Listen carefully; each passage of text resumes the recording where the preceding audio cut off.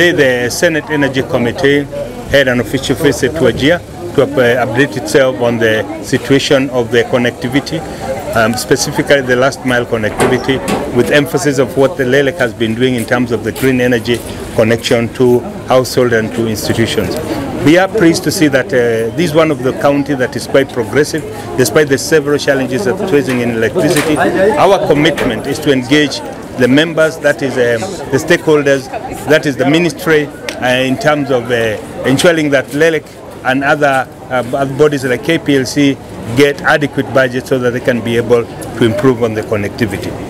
We've also noted with a lot of concern that uh, this is one of the counties that is not connected to the grid and therefore there is need and uh, there is, it is urgent to ensure that uh, we come up with measures, be, be it even PPPs, whereby we can ensure that the county is connected to the main grid to be able to promote industrialization and also to ensure that the commitment of the government to ensure that people are connected to the electricity has been met.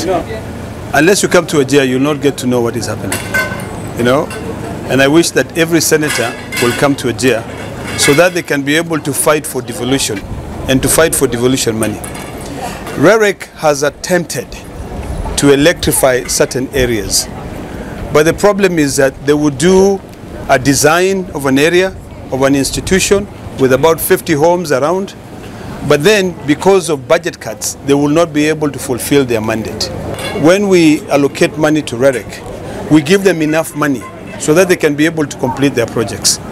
You know, from the oversight perspective, I can say that REREC is trying, but we are cutting their hands. We are cutting their feet. We are not allowing them to complete the journey. Here, the design was for this technical uh, institution and all the homes around here. But because of budget cuts, they have only managed to electrify one institution. I think it is important that we all become very candid with each other. We are spending a lot of money on fuel, spending 2.3 million shillings daily on fuel to be able to electrify Wajir town is not sustainable. We have generators which are dilapidated, you know, which are being used by KPLC. We have, would rather go to a PPP project so that electricity can be here. But ultimately, the solution, even for REREC to be able to do their job, is to put Wajir County into the national grid. Nothing stops this country with the amount of money that is utilizing to be able to put Wajir County, Garissa County, and Mandera County fully into the national grid.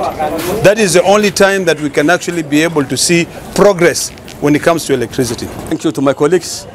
Actually, we came all the way from Nairobi to come and see the situation of uh, electricity and power supply to Wajir, in Wajir. And they have found, you know, the situation of power supply in Wajir, that actually it is actually one thing. And that is all institutions are not performing very well because of lack of power. But hopefully when we go back to Nairobi, we will work together so that it will go and knock the office of the REREC and the office of the power lightning so that they can be able to get a proper supply and national grid connections, God willing. Therefore, I want to say thank you so much for those who came, like my colleagues, the, uh, the secretariat, my colleagues, the senators, and the officers who are here today with us, and the teachers who are here. This is a great honor to be here as the staff of REREC to come and just uh, visit this project of uh, Tarbaj Teachers Training College. As we've been told by the principal, that uh, the, the requirement was for this uh, institution to have electricity, for it to be commissioned and for students to join. And because of the project that REREC has done in this uh, facility of electrifying this institution, they have been able to enroll 96 uh, students. This is the first intake. And we want to say that uh, we want to encourage the people of this area now to use the electricity to improve their socio-economic lives so that they can be able to improve the lifestyle of this place. We also want to emphasize more even on the students in this school to be able to learn more skills now since they are electrified. And we want to say that uh, we are very pleased to be here and we are going to electrify the homesteads that are around uh, this uh, this area to the to, to electricity and I'm sure with this uh, project of REREC we shall be able to the lives of these people shall improve. Thank you REREC. We thank you. You need you, you came when we needed you very much. Remember I said this college was almost to be cancelled. We were refused to be approved because of electricity. And uh, because of the help of our area MP, thank you so much to him. We were able to get electricity. We say thank you to RERAC. Now the college is fully lightening.